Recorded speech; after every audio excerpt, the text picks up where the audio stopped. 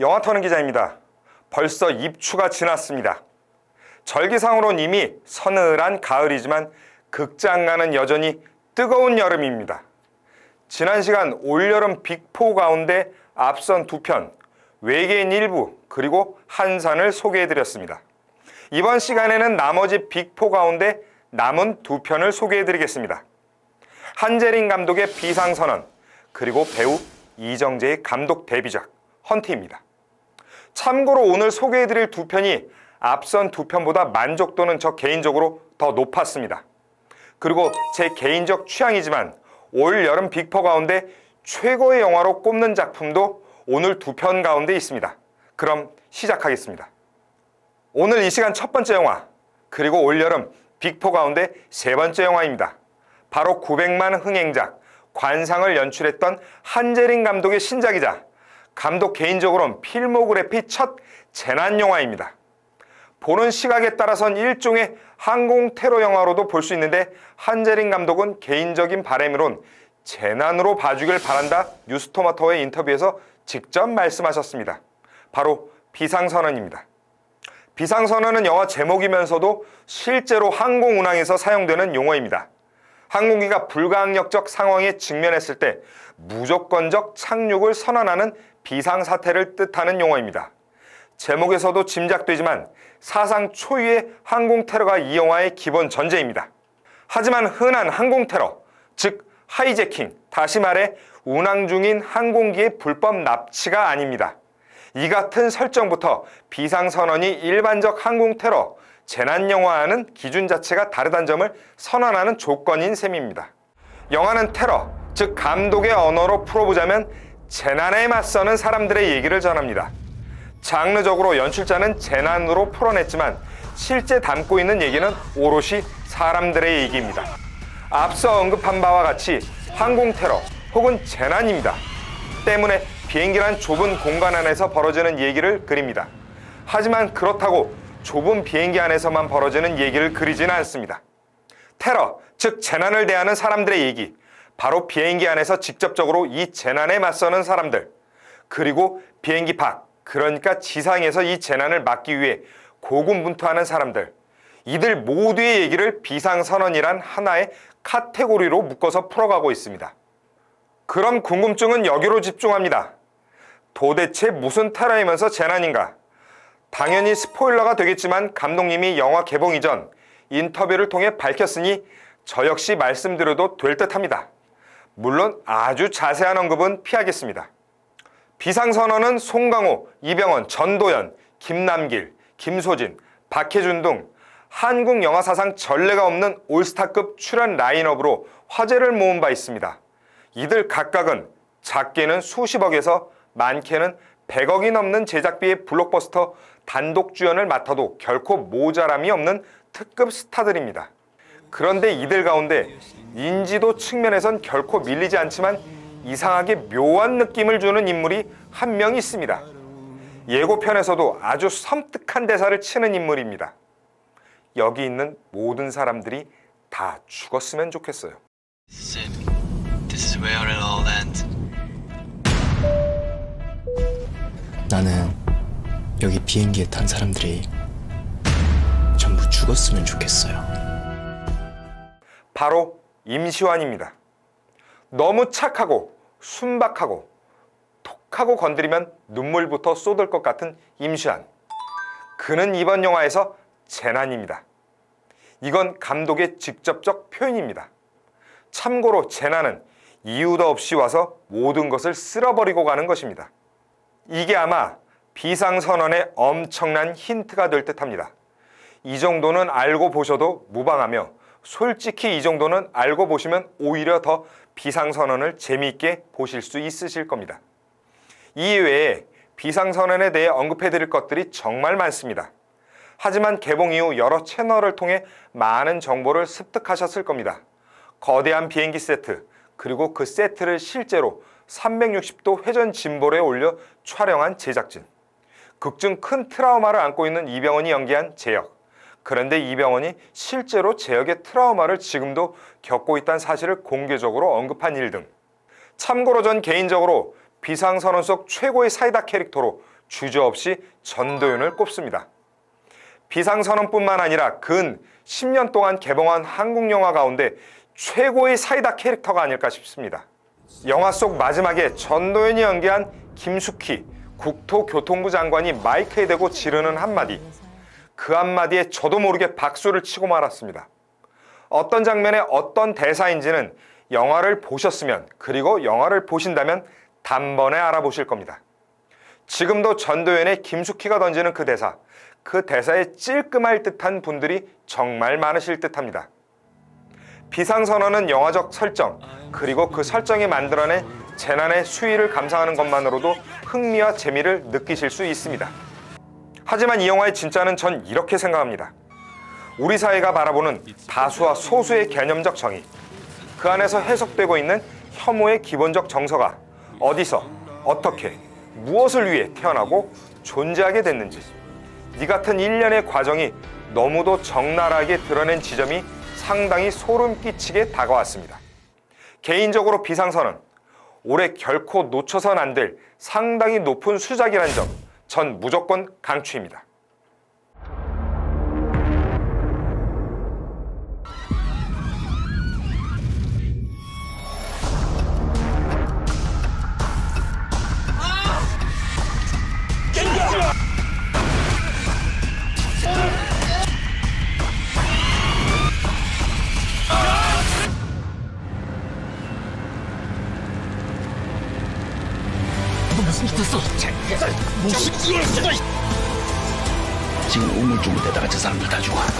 협조를 안 한다고 그냥 누워서요. 그렇게 단순한 문제가 아닙니다. 더 이상 버틸 수 없을 것 같습니다. 비상선언을 선포합니다. 올여름 빅4 가운데 마지막 영화입니다. 여론은 이 영화에 가장 높은 평점을 주고 있습니다. 평단의 평가도 마찬가지입니다. 하지만 어쩌죠? 전 사실 개인적으로 이 영화가 올해 빅4 가운데 가장 만족도가 낮았습니다. 물론 다시 말씀드리지만 낮은 만족도가 낮은 영화적 완성도를 말하는 건 절대 아닙니다. 이 시간에 소개해드릴 올여름 극장가 빅4 마지막 영화 헌트입니다. 헌트는 지난 5월 개막한 칸 국제영화제에 공식 초청돼 world premiere로 먼저 상영돼 현지에서 꽤 좋은 평가를 받았습니다. 참고로 국내에서 개봉한 헌트는 칸 국제영화제에서 상영된 버전과는 조금 다른 버전입니다. 전체 흐름과 사건 개요 등이 전혀 다른, 즉 다른 영화 수준까지는 아니지만 연출을 맡은 이정재 감독이 칸에서의 일부 평가를 받아들여 한국으로 귀국하는 비행기 안에서 일부 각색 포인트와 추가 후시 녹음 파트를 더해서 일정 부분 수정이 된 버전이라고 합니다. 헌트는 배우 이정재가 상당히 오랜 시간 공을 들인 작품입니다. 시나리오 작업만 무려 4년의 시간을 투여했다고 합니다. 우선 처음부터 이정재가 이 작품의 연출과 출연을 고려했던 건 절대 아닙니다. 이정재는 말 그대로 기획과 제작 부분에만 집중했었습니다. 하지만 마땅한 연출자가 나서지 않아 곤욕을 치렀다고 하네요. 이정재는 뉴스토마토와의 인터뷰에서 국내에서 웬만한 감독 중에 헌트 시나리오 안 받아본 감독은 없다고 단언할 정도였으니 말이죠. 실제로 이정재는 김성수 감독에게 헌트 연출을 진지하게 제의했었다고 합니다. 1999년 김성수 감독이 연출한 태양은 없다를 통해 이정재는 정우성과 만나 영혼의 단짝이 됐고 이후 23년 만에 두 사람이 함께 출연하는 작품이니 연출 역시 김성수 감독이 하면 의미가 있겠다 싶었다고 했습니다. 결론은 아시다시피 김성수 감독이 거절해 이정재가 직접 연출을 했다고 합니다. 이 시나리오에 가장 오랜 시간 매달린 사람이 이정재이니 연출과 주인공 모두 이정재만한 저격이 없단 판단해서 주변에 제의가 많았다고 합니다. 참고로 VIP 시사 후 김성수 감독이 이정재에게 영화 잘 봤다고 인사를 건네자 이정재가 형이 안 해줘서 내가 이 고생을 했다며 화를 동반한 푸념을 했다고 합니다. 물론 두 사람은 정말 둘도 없는 친한 사이입니다. 헌터는 이미 개봉에 상영 중이니 특별한 얘기를 한다기보단 제 판단을 전하는 것으로 풀어가면 될 듯합니다.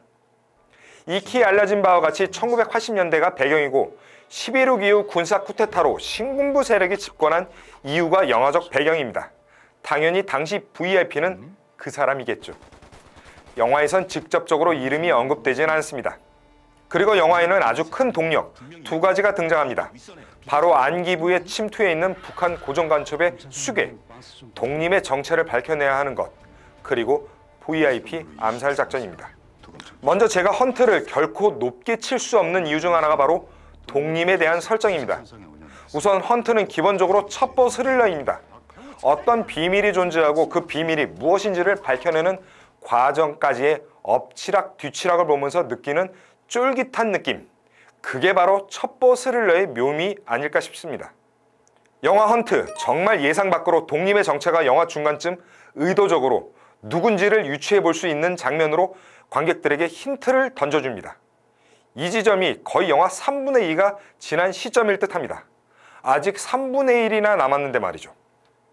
나중에 왜 이런 선택을 했는지 이정재 감독에게 직접 물어보니 신세계나 암살에서 비밀을 감추고 극을 끌어가는 스트레스를 경험한 뒤 연출에서만큼은 결코 그러고 싶지 않았다. 라고 뉴스토마토와의 인터뷰에서 밝혔습니다. 이건 결국 핵심 스포일러를 공개해도 극의 긴장감을 유지하는데 자신이 있다는 얘기이기도 합니다. 그래서 두 번째가 등장합니다. VIP 암살 작전. 우리에겐 아웅산 폭발 사건으로 익히 알려진 사건입니다. 지금까지 밝혀진 내용으로만 보면 북한의 당시 대한민국 VIP 암살 시도였습니다. 하지만 결과는 어땠습니까? 당시 VIP, 즉 대통령은 결국 천수를 다 누리고 얼마 전 사망했습니다. 그러니 실제 역사에서 이 사건은 결과적으로 실패였습니다. 그래서 영화 속에서도 사건의 시도는 어떻게 됐을까요? 그건 영화를 보시면 아실 듯합니다. 하지만 앞서 언급한 대로 독립의 정체를 유추할 수 있는 영화의 중반 이후의 선택, 그리고 그 이후 VIP 암살 사건에 대한 아웅산 폭발 사건 모티브 설정 등 이것들이 더해지면서 헌태의 김장감은 이미 답을 알고 보는 듯한 시선 속에서 순식간에 바닥으로 긴장감은 처박혀버립니다. 물론 이건 저 개인의 한해서입니다. 배우가 주연과 연출까지 도맡은 데뷔작이란 점에서 당연히 합격점 이상을 줄 만한 완성도인 것은 사실입니다. 하지만 장르적인 부분에 관해서는 관객들에게 던져줄 재미를 유지했느냐에 대해 전 분명 회의적입니다. 평론가들의 평가가 후한 점은 이 영화가 바라보는 시선과 영화 속 두 주인공이 바라보는 시선의 교집합에 대한 어떤 의미적 해석일 듯합니다. 평론가분들의 평가 역시 존중하지만 전 개인적으로 이 영화에 대해서만큼은 좋은 점수를 드리기 힘듭니다.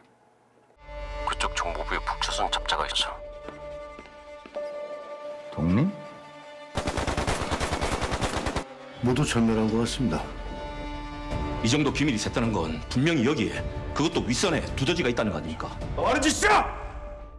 응하지 않으시면 독립으로 간주해서 수사 선상에 올려놓겠습니다. 그래 곧 밝혀지겠지 네 배우도